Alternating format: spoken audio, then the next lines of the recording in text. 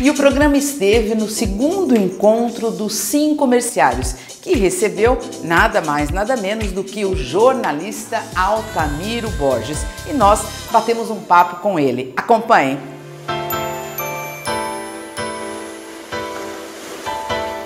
Esse é o segundo encontro Sim Comerciários e o jornalista Altamiro Borges veio aqui para falar com os funcionários do sindicato e também no encontro com contadores, né?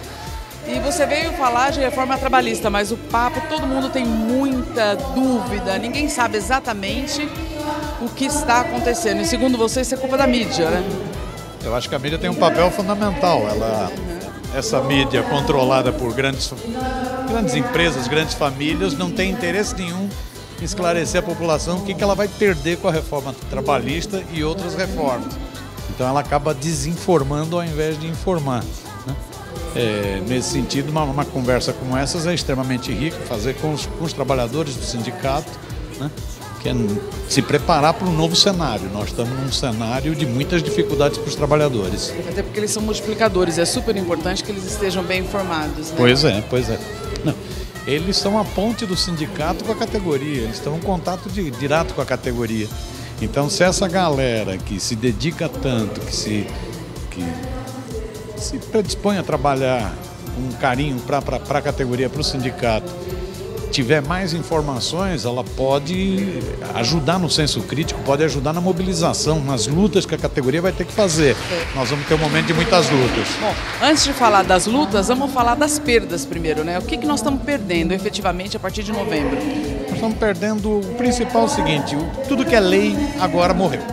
Agora vai valer o negociado numa situação de desemprego, de dificuldade de organização dos trabalhadores, o negociado em cima do legislado significa que nós vamos perder direitos. Então, esse é o principal. Cerca de 100 artigos da consolidação das leis do trabalho podem agora ser negociadas, podem ser revogadas, anuladas. Coisas do tipo: você tem férias, agora suas férias vão ser parceladas. Coisa do tipo, você trabalha 8 horas diárias, você vai poder trabalhar 12 horas diárias. Coisa do tipo, você trabalha num estabelecimento que durante um tempo você fica parado esperando o momento de pico. Esse momento, de, esse momento que você ficar parado não vai ser contabilizado no seu salário. Coisa do tipo, você trabalhava distante e tinha o transporte da empresa. Esse transporte da empresa constava como, seu, como sua jornada de trabalho, não vai constar mais.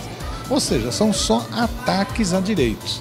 Você não tem nenhuma boa notícia, você só tem má notícia do ponto de vista do trabalhador. Do ponto de vista do patrão, ah, beleza. Ele vai aumentar os seus lucros tirando da sua pele. Né? É, então é, o cenário é difícil. Bom, mas você disse hoje aí na sua palestra que ainda tem jeito, né?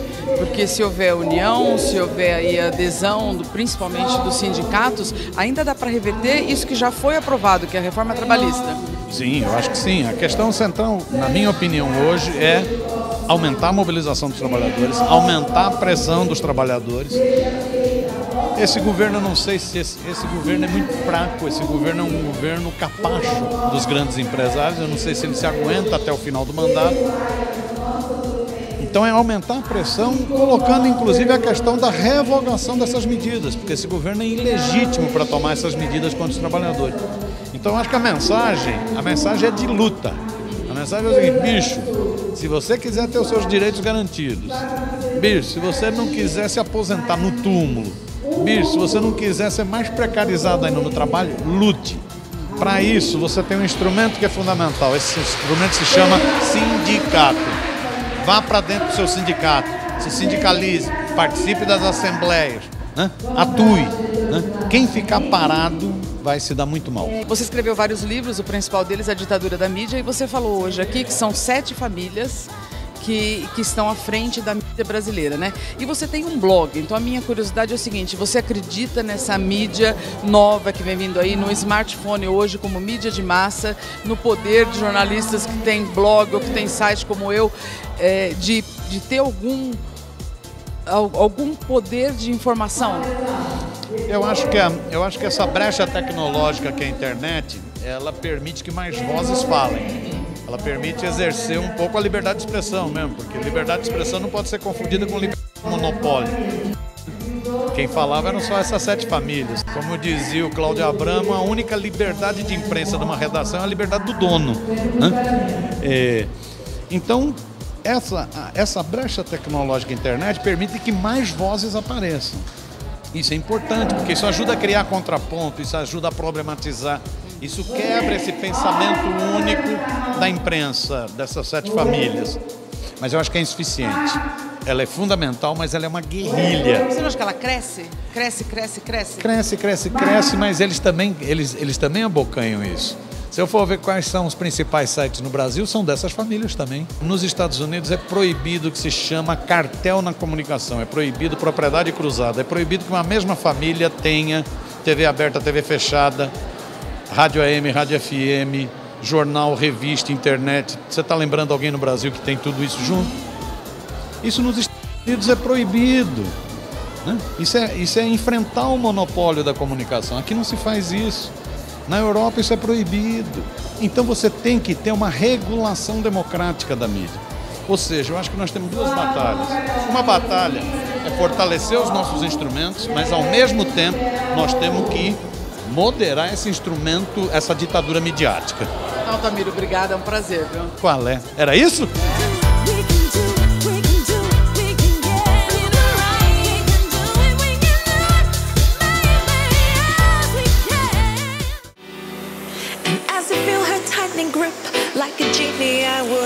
E o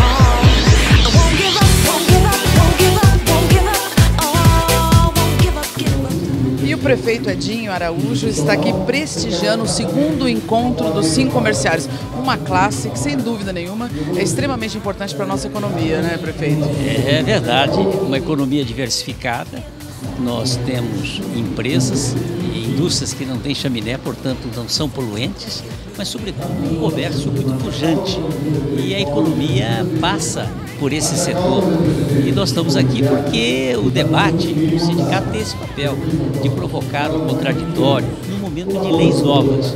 E aí a presidente Márcia, é, que é vereadora também, é, faz um trabalho espetacular porque trazer um conferencista deste porte, que é o Altamiro Borges, um jornalista consagrado, isso é muito importante para trazer o debate, o conhecimento e todos ganham. Portanto, é uma noite do saber.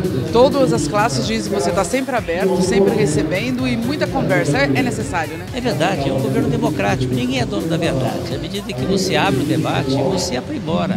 E é preferível é acertar conjuntamente do que errar sozinho. E esse é o espírito, é de debate e de uma cidade que é cada vez é, mais empolgada com aquilo que é positivo.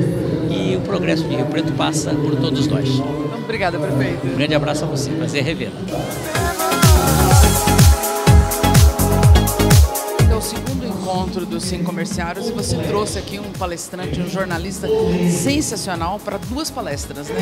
Uma para os funcionários e agora para os convidados, os contabilistas. Vamos explicar esse momento para o meu público.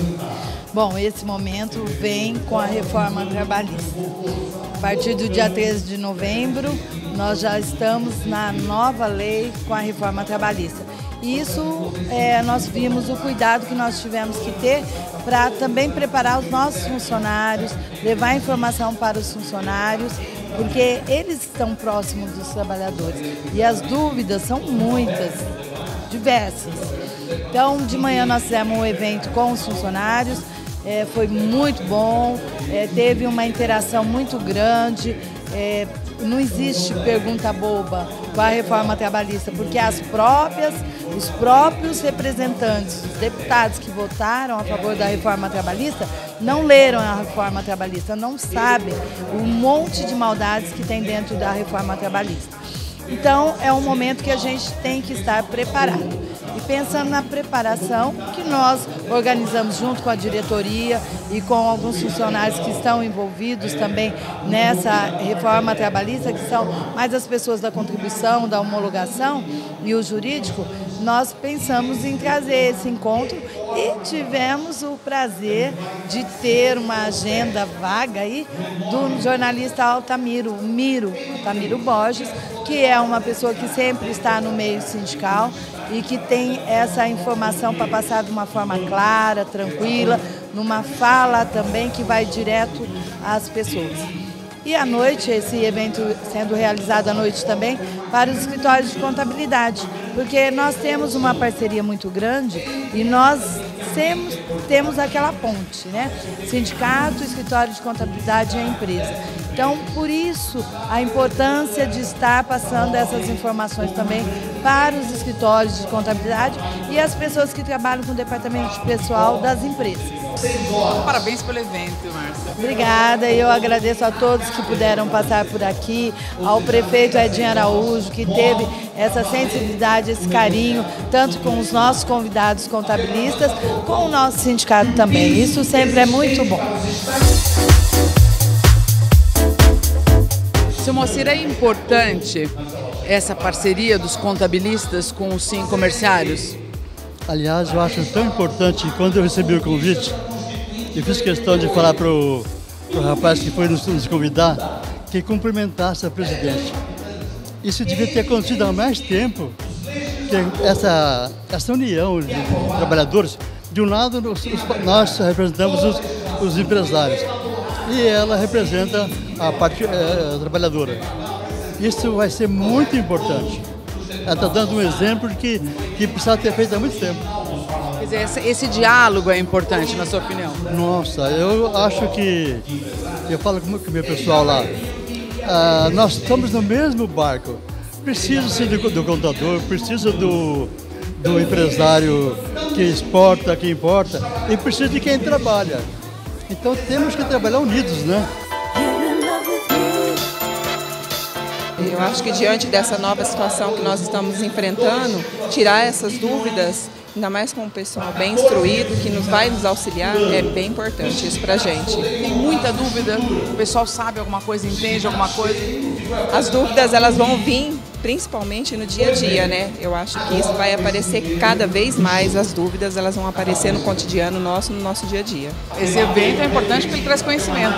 Para trazer um grande conhecimento para todos nós. Então, obrigada, cara. Obrigada a vocês.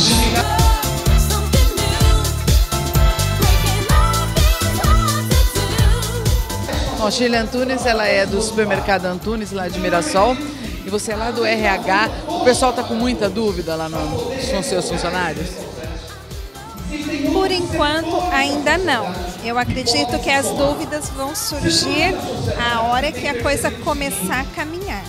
Então, por isso que é muito importante as informações para nós que somos do RH.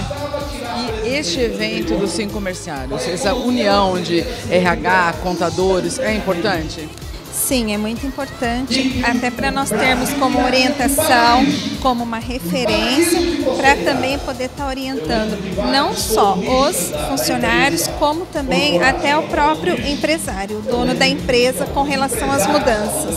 Quer dizer, o empresário também está perdido, né? Com certeza.